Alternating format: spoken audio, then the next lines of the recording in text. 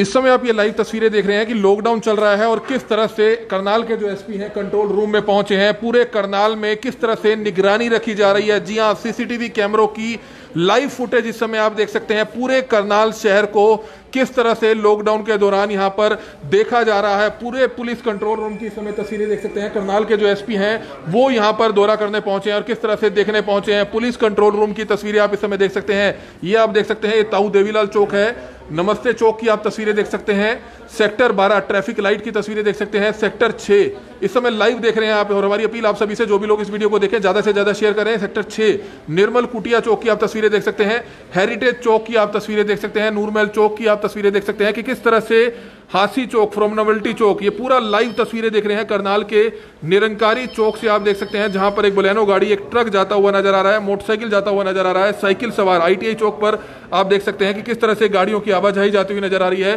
Sector 12 आप देख सकते हैं कि जहाँ पुलिस का नाका भी है, पुलिस कंट्रोल रूम से आप ये लाइव तस्वीरें देख सकते हैं कि कहीं ना कहीं चहल पहल पहले से ज़्यादा ज़रूर नज़र आ रही है। सड़कों पर कुछ हद तक भीड़ ज़रूर देखी जा रही है, लेकिन कहीं ना कहीं करनाल पुलिस लगातार आप सभी से अपील कर रही है कि अपने अपने घरों पर रहिए, सेफ़ रहिए, सुरक्षित रहिए। और इस समय आप देख सकते हैं कंट्रोल रूम से, जी हाँ कंट्रोल रूम से किस तरह से चौबीसों घंटे जो पुलिस के जवान हैं यहाँ पर ड्यूटी देते हुए नज़र आ रहे हैं। चौबीस घंटे जो है किस तरह से एक एक कैमरे पर नज़र रखी जा रही है, ये आप तस्वीरें इस समय लाइव देख सकते हैं। करनाल के एसपी जो है पुलिस कंट्रोल रूम में पहुँचे हैं और किस तरह से पुलिस कर्मचारियों का, अधिकारियों का भी हौसला बढ़ाते हुए नज़र आ रहे हैं। तो ये लाइव तस्वीर इस समय आप देखते रहिए और हमारी आप सभी से अपील है, जो भी लोग इस वीडियो को देखें, ज़्यादा से ज़्यादा ज़रूर शेयर कीजिएगा। ये लाइव तस्वीर इस समय आप पुलिस कंट्रोल रूम की देख सकते हैं, जहाँ पर पूरे शहर भर में किस तरह से निगरानी रखी जा रही है। तमाम सीसीटीवी कैमरे हमने आपको दिखाए कि इस तरह से शहर के हर चप्पे चप्पे पर जो कैमरेस लगे हुए हैं, उनकी किस तरह से निगरानी की जा रही है? और आप देख सकते हैं, करनाल के जो एसपी हैं, वो कुछ ही देर में यहाँ पर पहुँचेंगे। और किस तरह से मैं आपको कैमरे दिखाना चाहूँगा, आप तस्वीरें समय देख सकते हैं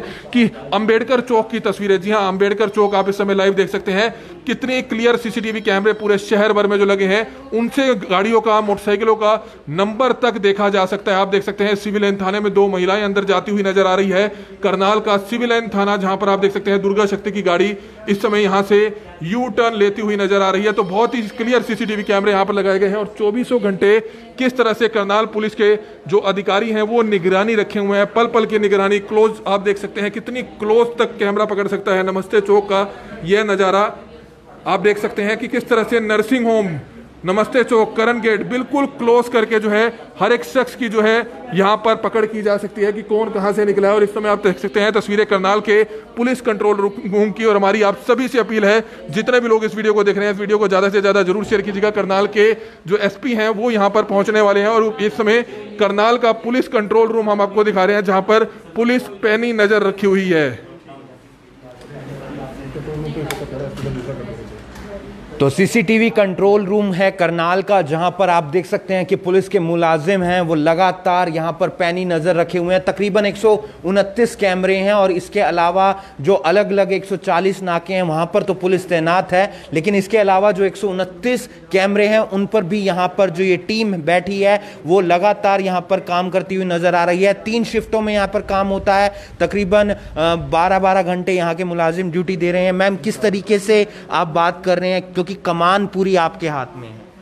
सर सभी मुलाजिम को अरेस्ट का भी समय दिया जाता है और रात को भी ड्यूटी करते हैं दिन में भी ड्यूटी करते हैं।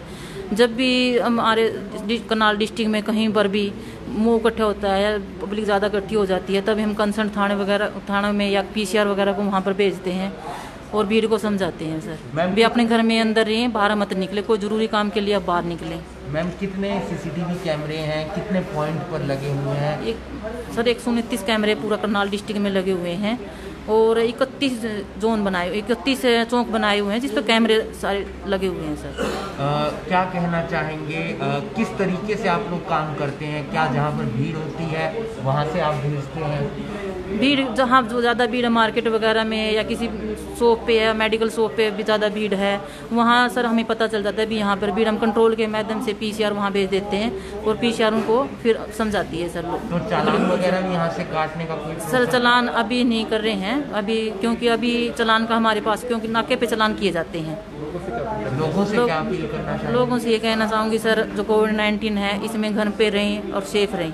चौबीस घंटे निगरानी रखी जाती है यहाँ से? यस सर चौबीस घंटे तो तीन शिफ्टों के अंदर 24 घंटे यहाँ पर निगरानी रखी जाती है। तकरीबन एक सौ उनतीस कैमरे हैं जो 31 पॉइंट पर लगे हुए हैं। आप देख सकते हैं कि यहाँ पर जो मुलाजिम हैं वो कॉलिंग भी अटेंड करते हुए नज़र आ रहे हैं और आप देख सकते हैं कि ये जो मॉनिटर है मॉनिटर के अंदर एक एक कैमरे को देखा जा रहा है कि किस तरीके से काम किया जाए। यहाँ पर जो सबसे ज़्यादा फोकस काम पर रहता है वो ये रहता है कि अगर किसी भी जगह पर भीड़ नज़र आती है 144 धारा का उल्लंघन नज़र आता है लॉकडाउन का उल्लंघन नज़र आता है तो वहाँ पर पीसीआर को भेजा जाता है, ताकि पीसीआर वहाँ पर जाके लोगों को समझा सके और वहाँ पर उन पर कार्रवाई कर सके।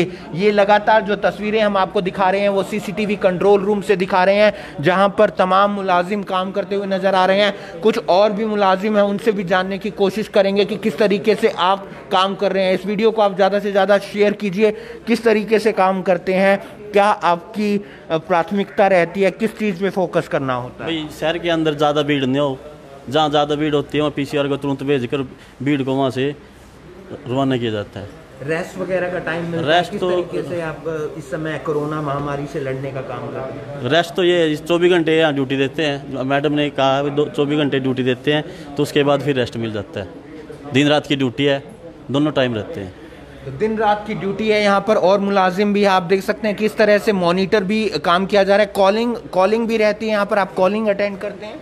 यस मैं सौ नंबर कॉलिंग अटेंड करता हूँ। जैसे भी कोई वीटी आती है वहाँ पे पीसीआर इंचार्ज को सूचित करके मौके पीसीआर को भेजा जाता है और कंसर्न थाना या एसएचओ को या मुंशी को इन्फॉर्मेशन दी जाती है। जी किस तरह की शिकायतें सौ नंबर पे इस दौरान आ रही हैं जो पहले से अलग है?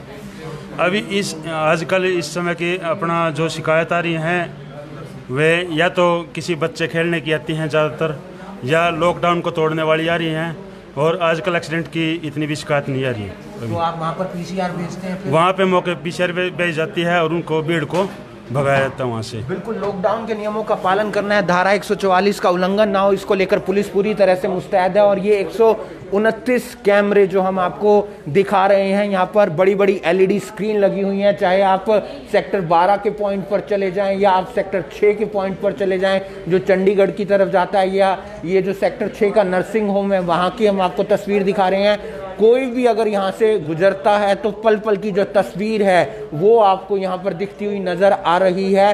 पुलिस सबसे ज़्यादा फोकस इस बात पे रखती है कि अगर पाँच से ज़्यादा लोग इकट्ठे हो जाते हैं तो वहाँ पर पीसीआर को भेजा जाता है ताकि पीसीआर वहाँ जाकर कार्रवाई कर सके। इस खबर को ज़्यादा से ज़्यादा शेयर कीजिए, आगे भी हम आपको अपडेट देते रहेंगे। करनाल ब्रेकिंग न्यूज़ के लिए करनाल से हिमांशु नारंग।